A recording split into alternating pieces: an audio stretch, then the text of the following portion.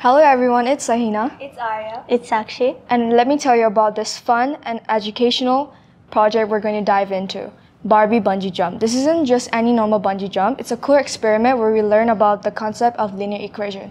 Here's how it works. We take a Barbie doll and create a bungee cord for her using rubber bands. Our goal is to figure out how many rubber bands we need to give Barbie the perfect thrilling jump where she gets as close to the ground as possible without actually hitting her. So this is where we are going to perform our experiment. Firstly, we are using two rubber bands to drop the Barbie and the height of the Barbie is 33 centimeters.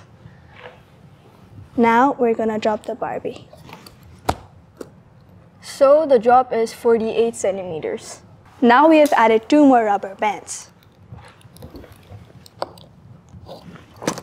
So the drop is 62 centimeters. So now we have six rubber bands. Here we go again.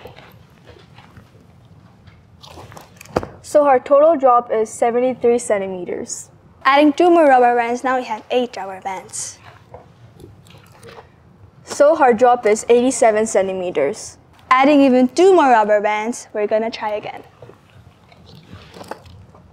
So our drop is 96 centimeters. So this is our final drop and after my friend Sakchi will do the mathematical part.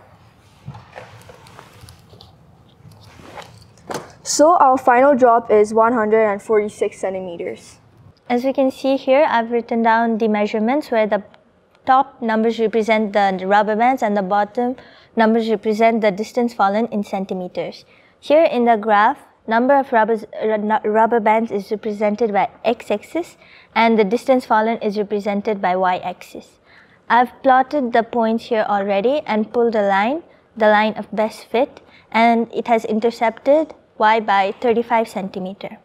As we know, slope is rise over run, which we've discovered is 40 by 6. Now, we know equation of a line is equals to y equals to mx plus c. Here, we have found that m is equals to 6.67 and c, which is the y-intercept, is 35. So, the equation comes out as y equals to 6.67x plus 35. Now, based on our line of best fit, how many rubber bands should be used to safely drop from a height of 2000 centimeter?